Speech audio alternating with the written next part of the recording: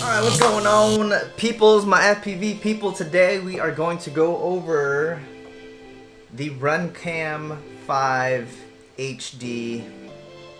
I think it's just called the Runcam 5 HD. Anyways, well, since GoPro doesn't make the Session 5 anymore, which I just loved this form factor. This this honestly was like the best form factor for us folks with FPV drones and mini quads because it's just compact. It's It doesn't take up a lot of space. But for whatever reason, GoPro stopped making the session. I don't know, maybe us FPV guys just really ruined the whole Best Buy warranty thing. I don't know. But either way, Runcam is back now with their camera. And now we're checking things out. And remember, here's the thing about this. This is $99 and it does 4K. It also has a field of view of 145 degrees and they have something called X-View. X-View is their version of SuperView. They have an attempt at it, fellas. So let's go check this out. Basically built a dual session mount for my mini quad. So I've got this and the Session 5 stuck side by side. And uh, just to be completely transparent, this is a prototype unit. So this does have prototype firmware on there, which means things could change a little bit when it comes time to production. All right, so let's get into this. I'm gonna go ahead and, and show you kind of the side by side. I'll show you a couple of different angles and let's just jump straight into it. Now, when you first take a look at this, what you're gonna notice is this is the GoPro field of view and you can see that it's a lot wider. And if you take a look, you'll see the basketball hoop to the left. And if you look at that tree, it's rather skinny compared to the Runcam view, which got a little bit of a smaller field of view. The basketball court has now disappeared and the tree has also gotten a little bit fatter with the Runcam view. So let's go ahead and take off here. Uh, but right away, you're gonna see a lot more sky and a lot more ground with the GoPro. So up first, we've got the GoPro in full screen mode. And, I mean, you know, pretty much what you'd expect. I, I wish it was a sunny day, but, you know, the sun just kind of missed my memo. Now we're over to the Runcam view. As you can see, the quality has changed a little bit. It's it's uh it's noticeable. It's not it's not really massive, but you can tell that the GoPro picture quality does have the edge when it comes to the Runcam when both cameras are in 1080. Now if you look at here, I did a freeze frame. On the GoPro, the car looks rather normal, and if you look at the house in the background, it looks normal. But on the Runcam, that same car looks a little bit stretched and maybe even a little bit squished. And I think that is just Runcam's attempt, you know, at making their X view a lot closer to GoPro's Super View. If you also notice the colors and the saturation um, and even contrast in the Runcam is noticeably higher than the GoPro. The GoPro here, I would say by comparison, is just a little bit softer.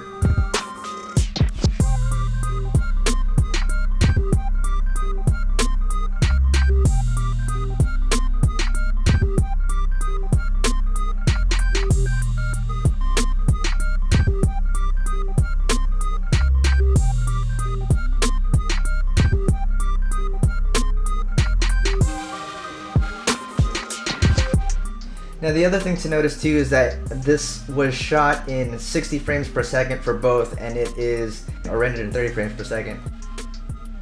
And that's just because the Runcam doesn't have a native 30 frames per second at uh, 1080. Now here's something interesting.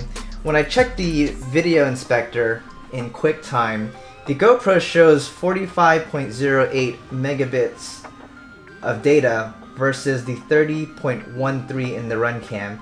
And that's really where you're noticing a slight edge on the GoPro as far as picture quality goes. But again, for $99, that's not bad. Now let's go ahead and compare audio here.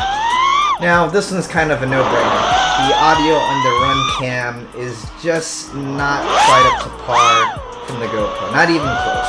The, the audio mic on the Runcam sounds very hollow very shallow and, and really just doesn't have any depth in comparison to the GoPro. So the good news though is when you're doing FPV videos like this, I mean the, the sound quality isn't a huge factor as most people turn it down anyways and throw some music on top of it.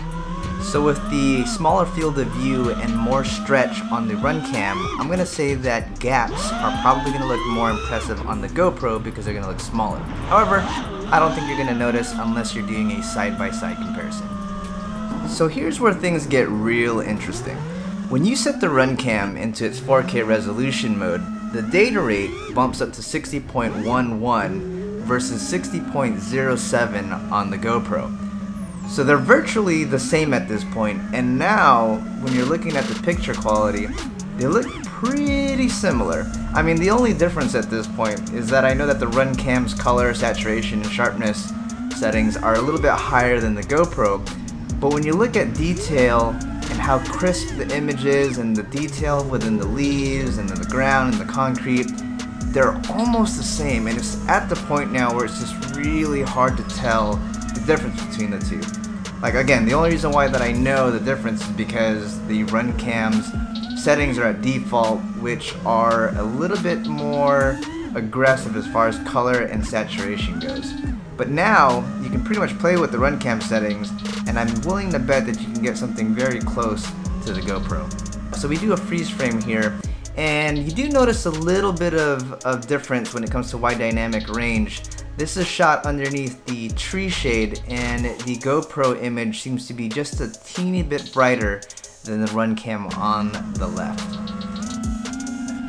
At this point, I'm, I'm quite impressed. So not bad. Let's go ahead and finish off the rest of this flight. I'm to go ahead and go back and forth between full screen on the GoPro versus full screen on the Runcam And you can see for yourself.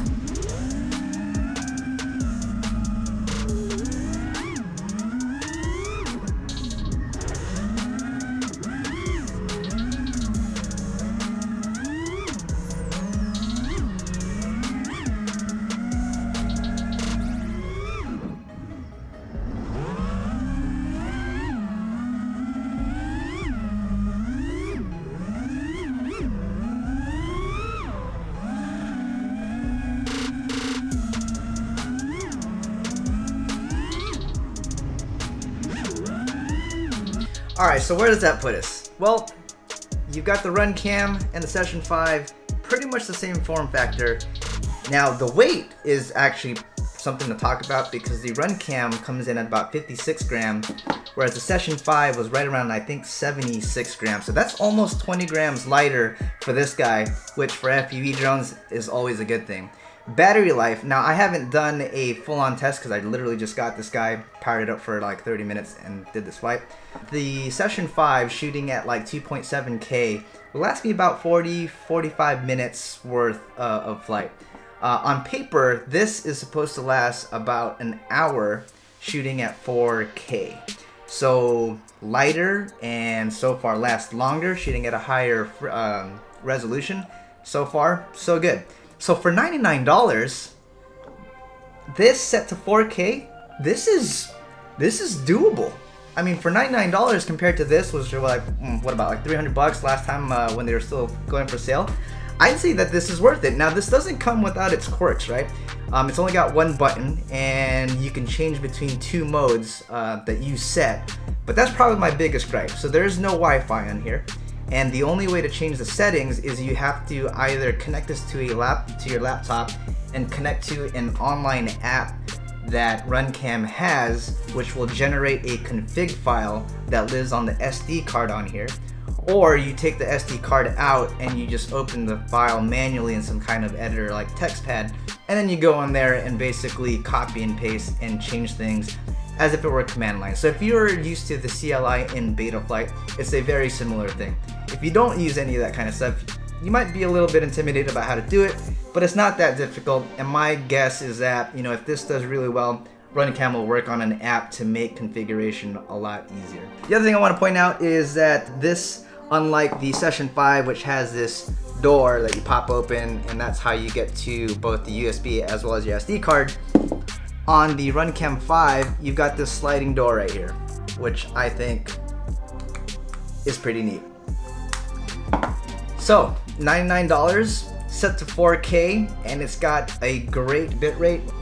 I'd say that's worth it. You know, there's one more thing I wanted to point out to you. I just I just remember when I was looking at this. You can set this to 1440 and stretch it out to super view yourself in post in your editor. So that's something to consider. So once again, this is just prototype, prototype firmware. Things are probably going to change when it comes out. But man, for $99, I'd rock it. Three of these for one of these. Granted, you can't buy these anymore. I'd rock it. Oh, one more thing. Jeez, I'm just keep forgetting. You know what? Let me just let me just look to see, make sure there's nothing else I want to tell you guys. Um, the glass on here is actually made out of Gorilla Glass, so it's something really, really strong.